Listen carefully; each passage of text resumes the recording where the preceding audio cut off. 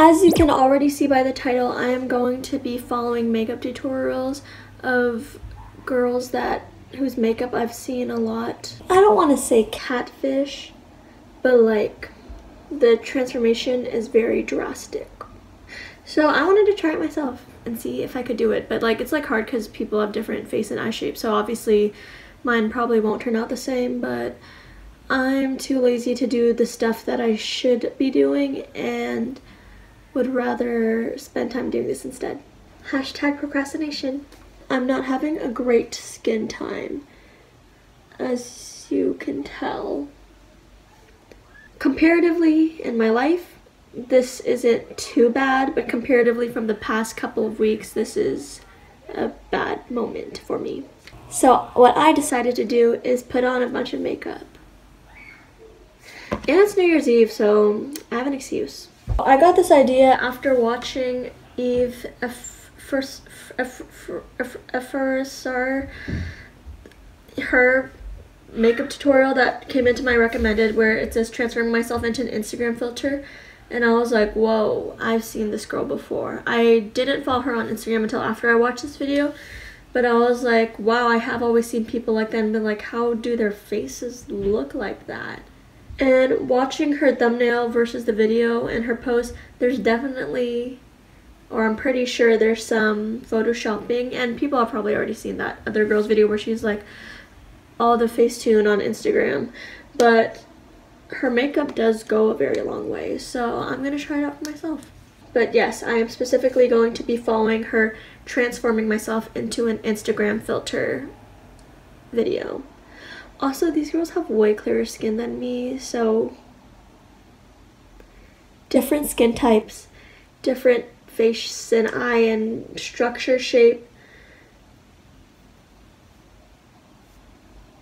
But I am going to end this video with how I typically do like not a prom glam but not an everyday look like that in between where I know I'm going to be taking Instagram pictures that day.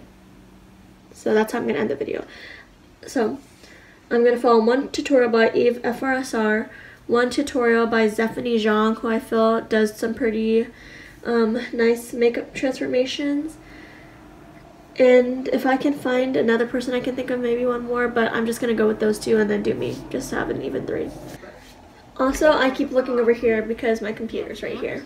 And that's where I'm going to be looking to do the tutorial. And then I'm going to do my makeup at the mirror right here. To start off, I'm just going to take all the pimple patches that I already placed on.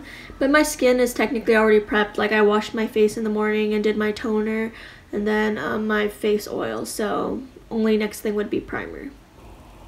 Ew. Not gonna show you this. First I shall clip back my hair. I've been doing a lot of talking. Let's start with the first transformation. I think I'm gonna put the video right here and then I'll just show parts that I'm following along with so then I don't have to really voice over or do anything you know, it's my time of the month, if you will, so things are going bad for me. My skin's breaking out. Um, it's just not good. But that moment when she said, my skin's bad, and it's like this many pimples. The cool thing is that my hair's kind of faded away, but it's basically the same colors as hers when she does this video, so that's cool. Okay, so first off, I'm going to prime. The soft cover pore balm primer that I got from a Korean warehouse sale. The cool thing about this primer is like a little bit really does go a long way. You just slather this all over your face and then you have to leave it for one minute to like sit on your skin. I'm gonna do the next step she said, which is her foundation. So I have my beauty blender the Clinique Acne Solutions one. This is the most recent one I've been using because that and also it's pretty decently priced. What I usually like to do is I like to clean like a surface of a plastic lid like this so that when I use the foundation I could just put it on there and I'm not like putting my foundation on my hand or something where it will get all soaked up. And then my hands are clean, I did wash them. I'll just use my finger to dab the foundation. It looks way darker on camera than it does in real life. I'm just gonna plop this everywhere basically. As I said, this is like intense natural. So the concealer I'm going to be using is going to be a lot lighter. But first, I'm going to just do my normal concealer. Don't be afraid to go like crazy with it. She said go crazy with this, so I'm going to go crazy.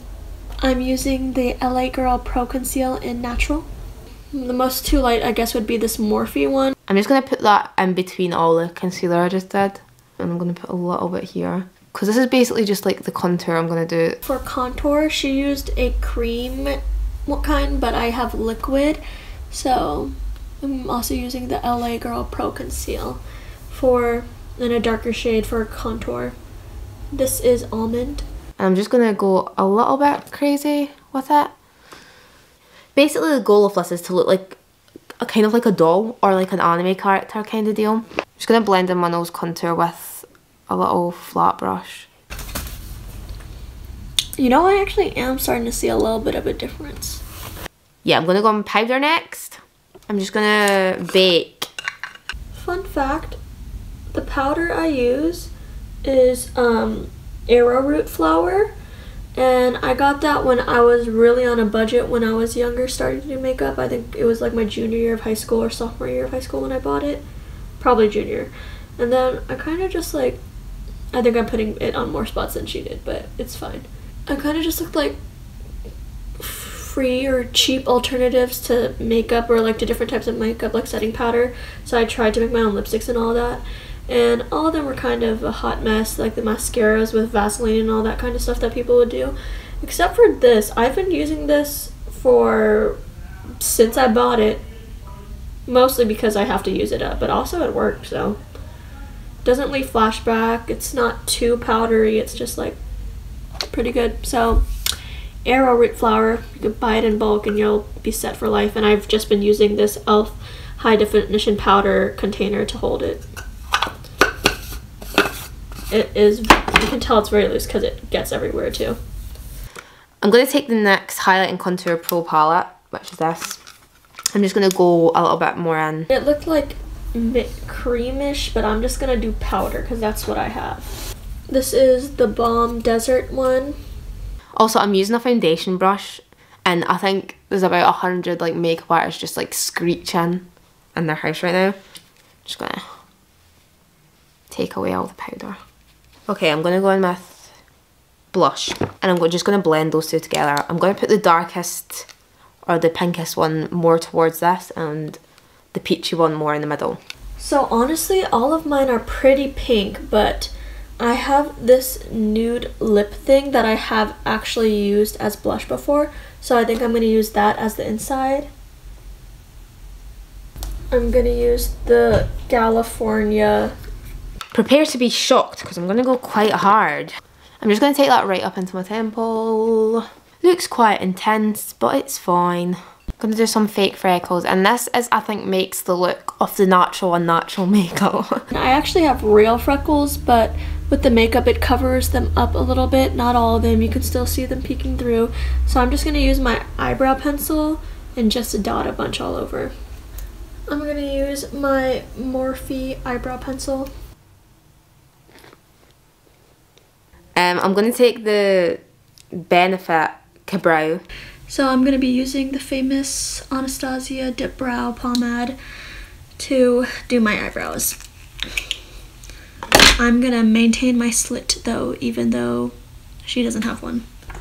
The lighting looks super bad on the camera because it's not focusing, but it's way clearer for me in the mirror. It looks so crazy on camera, but the finished look will be better because of it.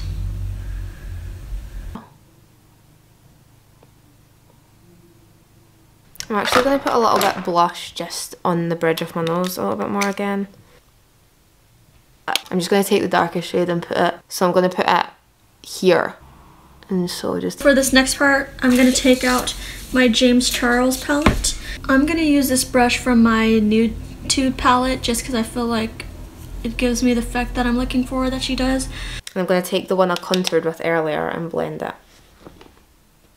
Morphe brush in M222 to blend that out.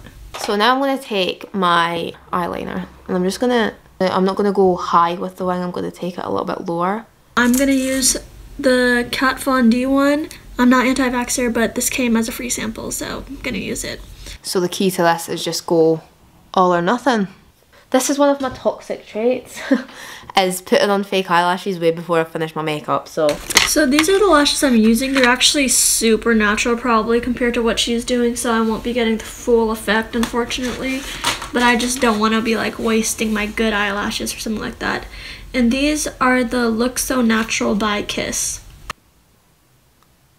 Next what I'm going to do is just trying my best to stack these on top. I'm basically just going to try and put it more towards the end so that yeah there we go. Just shaded just she just stacked eyelashes. I'm gonna use these super cheap Korean ones that my aunt got me and I'm probably gonna put them on very badly. You know what? I might cut one in half because hers looked shorter. Yeah I'm gonna cut I'm gonna cut them in half I'm going to go back into the contour palette and I'm going to take the darkest shade again. I'm going to go below my natural lash line, so I'm going to join it up here and then I'm just going to go in with black now. I'm just going to do some little fake eyelashes down here. And I'm just going to create a little thingy here. And then she uses like a brown eyeliner into the inner corner, but it basically looks black, so I'm just gonna go black. I'm gonna take this glitter and I'm just gonna put this here. I'm gonna go with this silver glitter eyeliner thing. That looks like this. Just gonna apply that all over. Next she uses a very white sparkly highlighter, so I'm just gonna go with the white sparkly highlighter from from a shimmer eyeshadow some mascara. Blend everything together, I guess. You know what? It is starting to look a little doll-like. I'm gonna use this thick Urban Decay Perversion sample I have. Just gotta do the lips. But I'm just gonna overline as much as possible. So I don't know why I didn't just do this earlier, but I just set up the phone on the light. Okay, next thing she does, now that we have better lighting, is use a brownish reddish toned lip which I feel like Avenue from Colourpop kind of is. But hers is buildable and this is really thick. So I'm going to go over with my finger. And she overlines, but I have pretty decent sized lips. So I'm just going to go with my regular line. Okay, I'm going to take the Black Moon Cosmetics and Devil. And I'm going to put that on the, in the inner. So mine is already pretty red. So instead of doing more red in the middle like hers, I'm going to do more nude on the outside. This Stay Glossy by Rimmel. And Blushing Belgraves like so.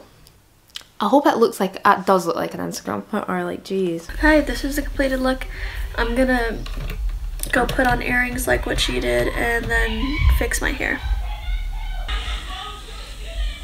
This is actually crazy. Like, I obviously don't look exactly the same as her, but this definitely gives me an idea of that look that I was wondering how people get, how they look like on Instagram, and yeah. This is definitely very doll-ish like, and it's not like ABG, because like she said, the freckles do make it different, but yeah. I think this is gonna be my New Year's Eve look. Thanks. Just a little bit later since I finished, but I just realized who I remind myself of CL from 2NE1. I feel like I'm giving off those vibes right now.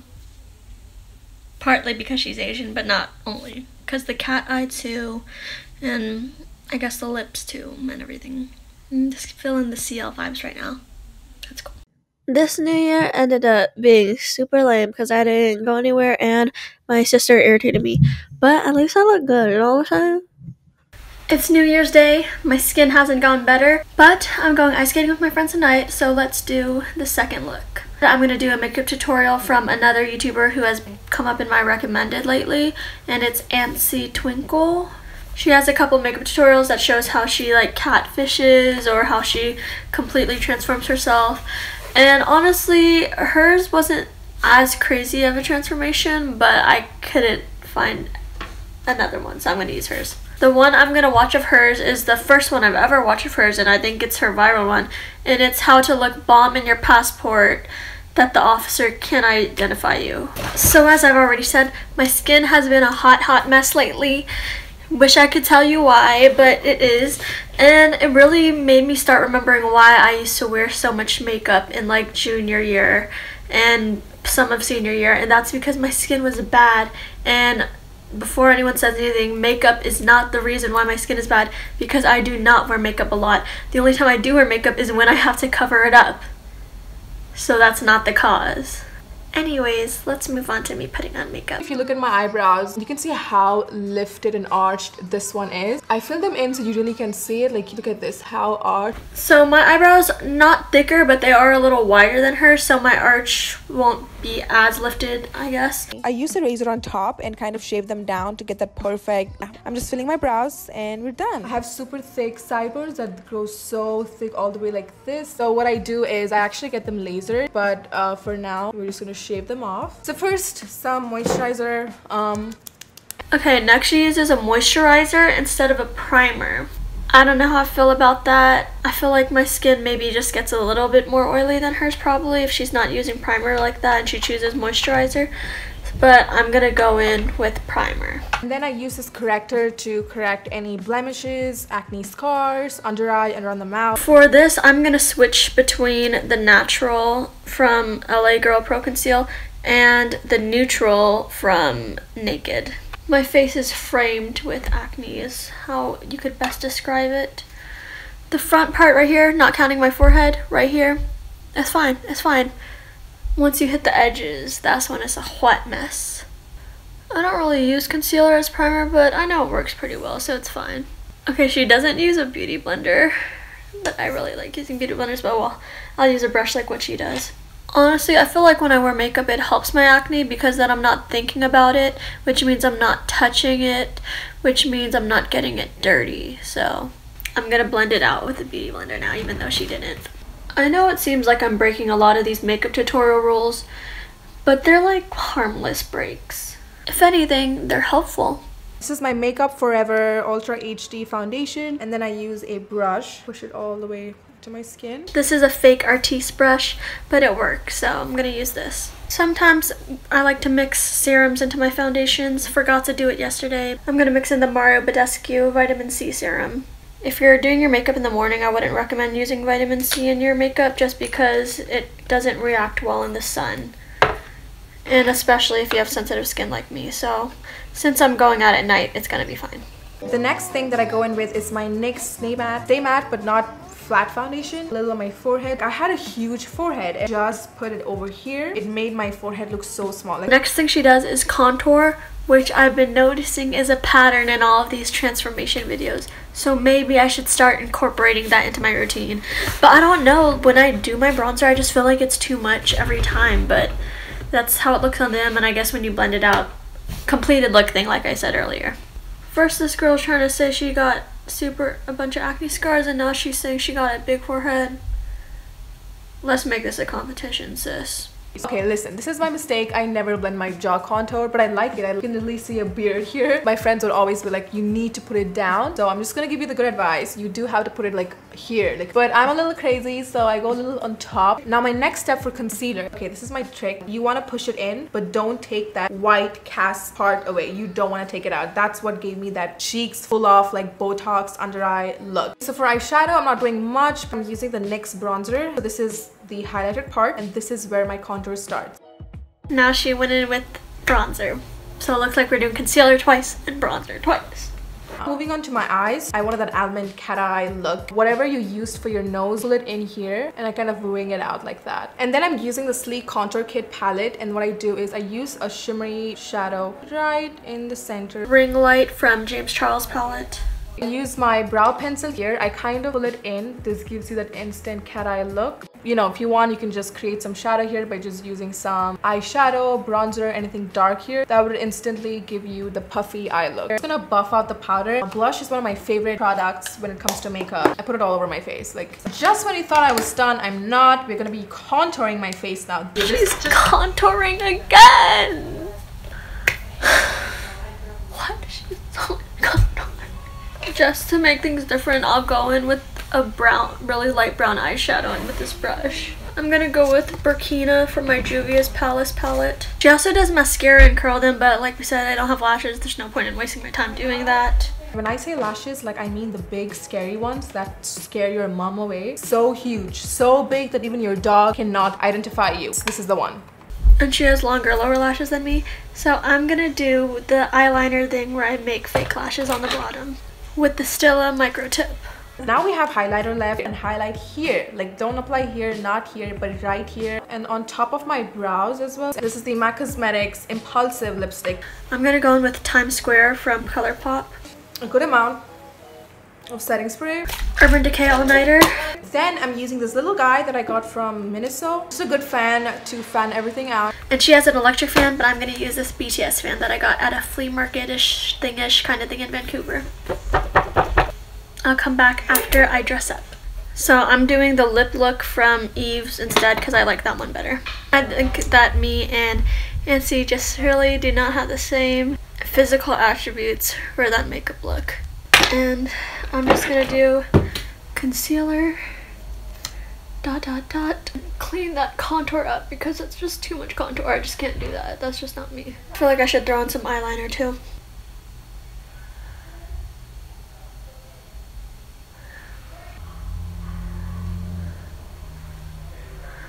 Oh, freckles. Since it's me, I'm gonna go in with white because that's just my thing. Okay, so I didn't obviously strayed from Anncy's look, but I just, it just wasn't me. So the next one you'll see is how I do my makeup, which will have zero contour, but that might change in the future just because how I've been seeing it lately. But yeah, gonna go ice skating now, berets and hoodies. So even though it was super crowded, I now have another ugly scar on my foot because I got a blister from going too hard at ice skating. And also I forgot a jacket, but luckily I was able to borrow Vienna's. At the end of the day, I still looked cute. And it was a really fun time hanging out with my sisters and our friends at ice skating and getting food and ice cream after. So successful night, New Year, I guess.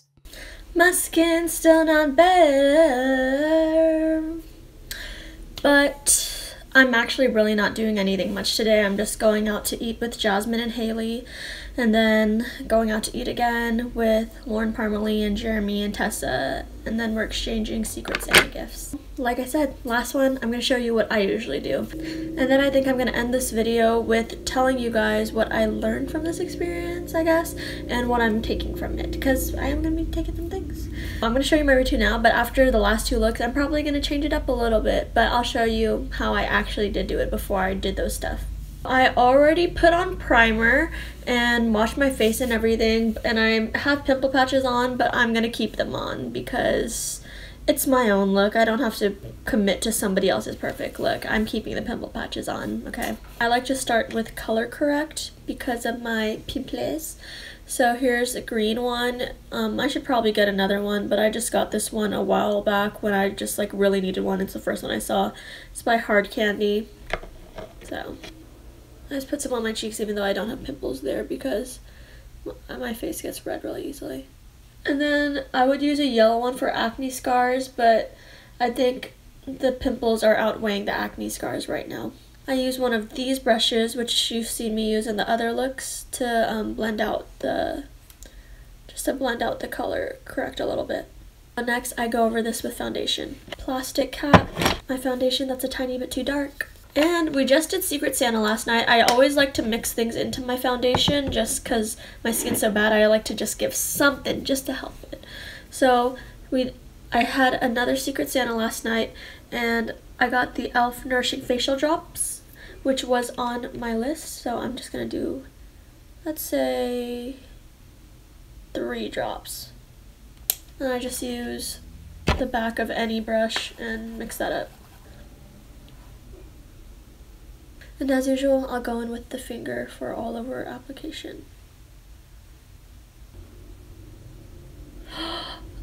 okay, so I already messed up my own routine. Something I like to do before I even do foundation is the eyebrows with a pencil because I don't like putting it on after the foundation, but I have to now. Just because I'm running out of the Morphe one, as I already said, I'm going to use Sand from Maybelline and a concealer brush. As usual, I use my finger for that, just because it's more precise. And then whatever's left, I'll swipe in the front, just to give that faded look. And if I don't like how the eyebrows are, if I'm not satisfied with them, I just go back in with the pencil just a tiny, tiny, tiny bit. Like I might use it to clean up the slit. Then I go over with the brow gel and I'm actually running out of the Glossier Boy Brow, so that sucks. And again, this isn't glam for like if I'm going to the club or something. This is like if I'm on vacation and I'm trying to look good for these non-local boys. Next, I use primer and I use the Too Faced Shadow Insurance.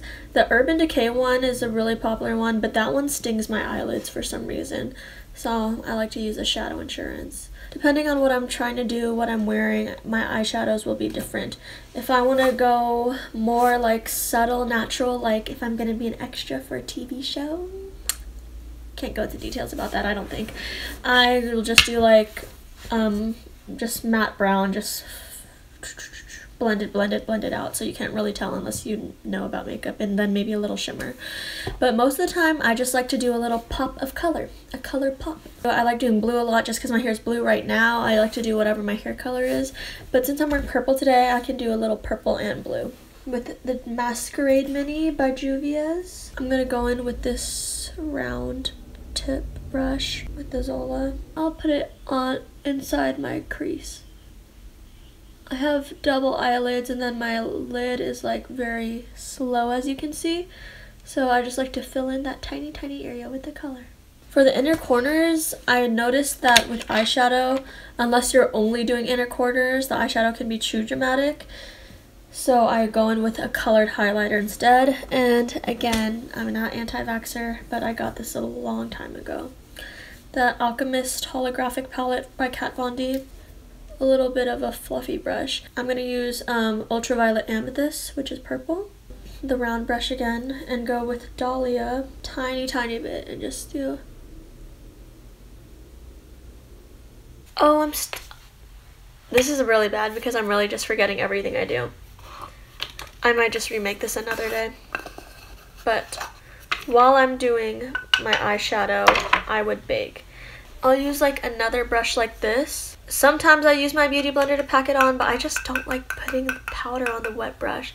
So I'll just use another brush and just tap it on. Tap on my arrowroot flour.